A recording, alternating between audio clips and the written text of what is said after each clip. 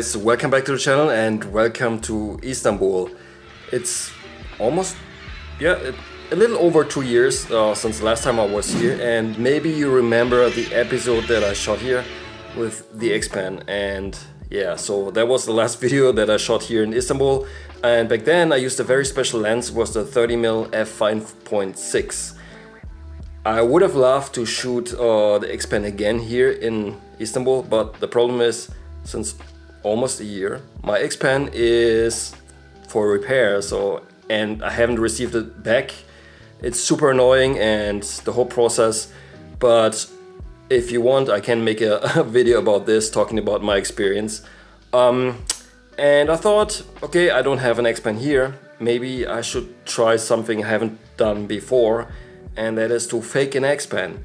And the camera that I will be using for that is actually the camera that is filming me right now, but let me show you. So the camera that I want to use today is this one here is the uh, Panasonic Lumix S5. It's a pretty nice camera uh, for a full front camera. It's relatively small. So I want to use this camera together with um, the Lumix 16 to 35 and the reason is because this camera has a trick up its sleeve and I mean it's not a trick but let me open the the screen. So you can as you might be able to see you can shoot in this mode. And actually it's the same aspect ratio as uh, the X-Pan. It's um, 65 by 24 and yeah I want to use that. Um, I want to I will shoot raw but also Lightroom will apply these uh, or this crop here and that's the idea for this video. So this is basically like a fake X-Pan and by using this lens here I'm shooting I will be shooting this only at 16 mil. And that should give me roughly the same uh, field of view that the 30 mil on the X-Pan gave me last time I shot here. Um, maybe a little bit wider.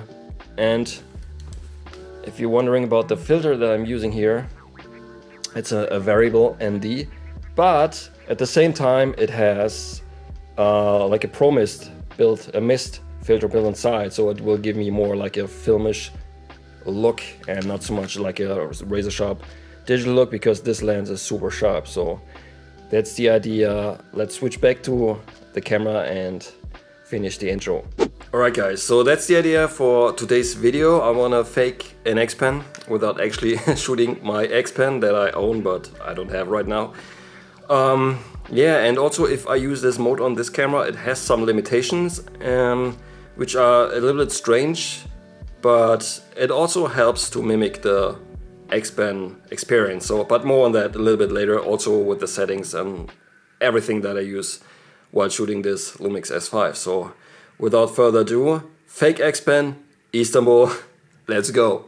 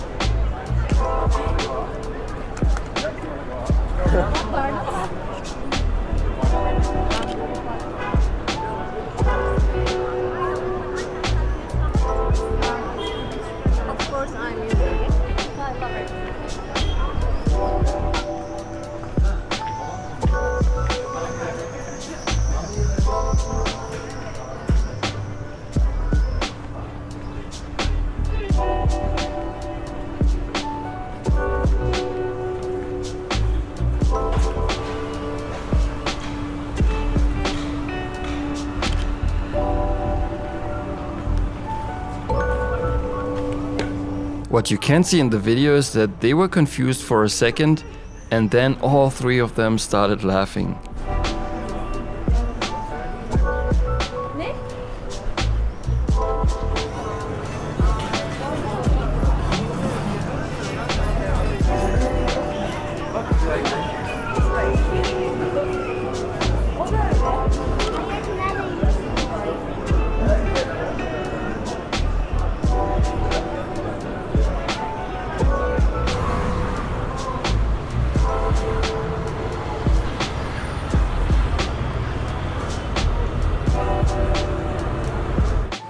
Alright guys, what about the settings that I'm using here? Like I said before, the lens is set to 16 millimeters and I will stick to that. Uh, besides that, I'm using auto ISO, um, aperture priority and I'm shooting everything wide open because I also shoot my X-Pan wide open all the time. And when you use this mode, this crop mode, uh, there's some limitations like I mentioned before. And one limitation is that you cannot use AFC, you can only use AFS. That's what I'm going to do. And on top of that, um, you cannot shoot in burst mode, only single frames, which is kind of odd, but I mean, that's whatever the reason is. Technically, I think there's no reason for it, but on top of that, it adds to my uh, fake X-Pan experience because there's small limitations like on the X-Pan because that doesn't even have autofocus and burst mode is not really burst mode, it's very slow so that makes the whole experience a little bit more real even though yeah it's not. But on top of that, uh, editing because I want the photos to have like a more cinematic filmic look so I'm using uh, Dehancer for that which gives the photos a really nice look. I'm going for probably like some um, Cinestill 800T look. If you're interested and want to see how I do this, um, I will link the video up there so you can check it out. That's pretty much it about the settings, so let's get some more fake X-Pan shots.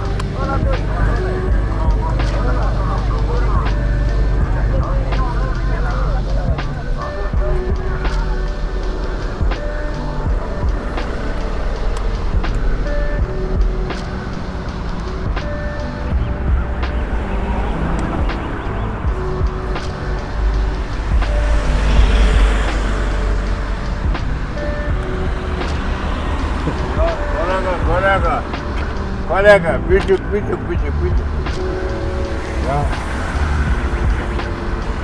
Istanbul is famous for its cats and you might be able to spot more of them throughout the video.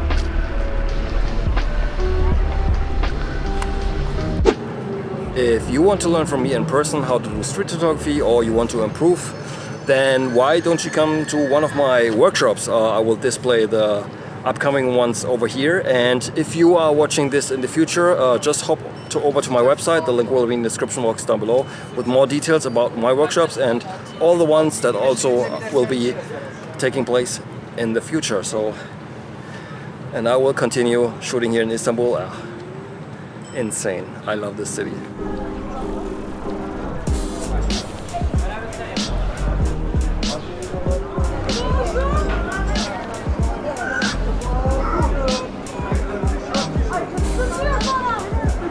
Ama sıcak bir şey olmaz. Teşekkür ederim. Kafeye doğru gidiyorum. Hayır.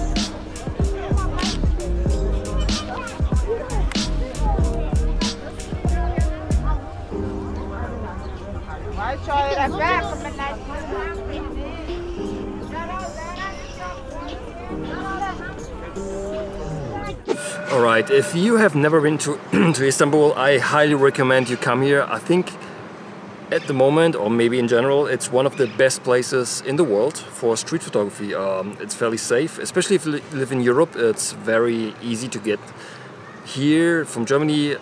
Took me two and a half hours flight, so not too bad. And on top of that, it's fairly affordable. I would say right now it's even more affordable than Mexico City, which is pretty insane to think about. Um, and there are so many people, and there are so many different backdrops uh, that you can shoot in. Uh, because it's very close to the ocean, um, there's these, these bustling markets and everything. So there's so many people, and it's a huge city. So come here for a couple of days or a week, and you will have a wonderful time shooting street here. right let's continue. Try to hunt some fake X-Pan shots.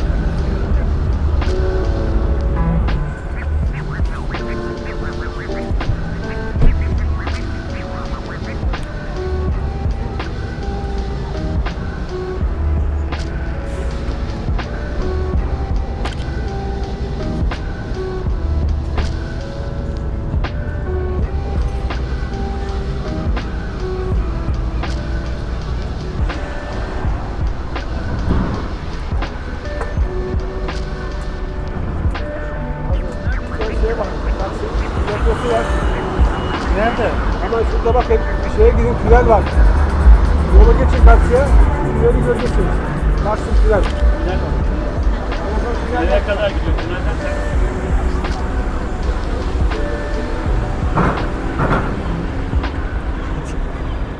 If you want to see the photos again, plus some additional ones that are not in this episode and also the EXIF data, check out my blog post. The link will be in the video description.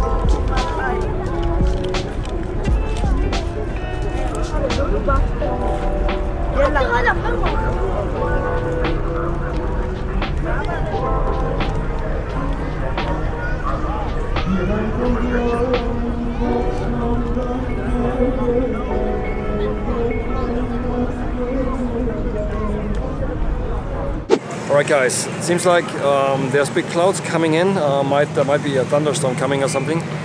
But it's alright because I got enough shots uh, for today. Um, was good fun shooting, trying out the fake X-Pan, even though it was a challenge because you need to get super close, um, much closer than I'm used to with my 28 even, but it can be done. So yeah, it's a challenge, but hey, challenge accepted. What do you think about this setup? Uh, do you think it's a good option for or alternative for an X-Pan? I wish there would be a sensor that would cover or that would have the same aspect ratio as the uh, the X-Pan. That would be pretty lovely. I would love that. Uh, I guess a lot of you also would love that. So if you know if you love would love that idea, leave a comment below and please let me know how much would you be willing to spend for such a camera. Uh, let's say including a lens or maybe no, just a body would be very interesting. Um, and that, check out my street photography zines because that helps me to make more videos like this in the future and also check out my workshops if you're interested. Other than that, uh, give the video a thumbs up as always uh, and if you are not subscribed yet, please subscribe because there will be plenty more videos like this coming in the future. Alright guys, that's it for today. As always, until then, auf Wiedersehen.